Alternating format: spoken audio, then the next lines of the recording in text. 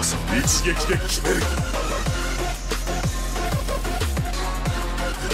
全力でやれそう俺も皆さ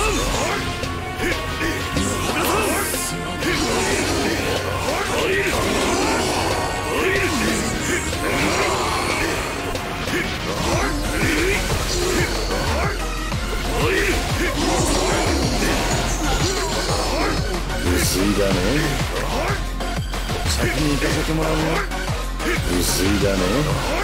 お出しなさせませんさせませんほどきなさいトラソイスケルダ・デル・ディアブロ全力でやれ。そう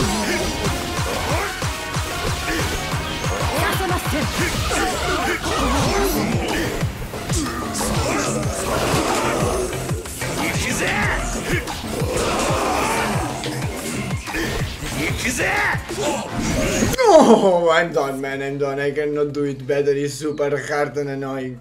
I mean, the spots are super hard, man, to kill that Soul Reapers. I dub that have a chance to clear. I dub so much. But at least we reach Campeche. Hope that you enjoyed the Chad power. Bleach, Brave Souls, Harriel Quest, Captain Melee Killer with Chad. The Bond Chad resurrected 5 out of 5, ladies and gentlemen. Solo Harriel Quest, the Rock Chad, because my Chad have max defense for PvP. Then we're gonna see the Rock Chad resurrected here in Solo Harriel Quest. Gonna be really interesting run because have boost and it's a very good resurrection with a lot of bruiser, look that nat, 136%, it's a fucking madness. Then I still have some good damage taken, low stamina and weakened defense as bonus abilities, we now have paralysis resistance, we are brave. We're gonna go with low stamina extra damage and weakened defense to reduce the defense of the 4th or 5 boss. Fight versus the 5 boss gonna be fucking crazy versus Kenpachi, but we're gonna try to do our best. We now have last ditch, we now have paralysis resistance, we're gonna die, but we have a lot of defense and some damage taken. Gonna be hard, but we're gonna do our best with the Chad, the bond Chad.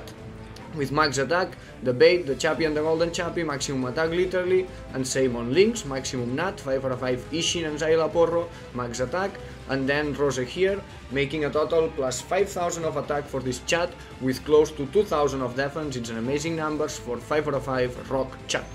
Hope that you enjoy the Hargill Quest. Here we go. Brazo izquierda del Dirabro.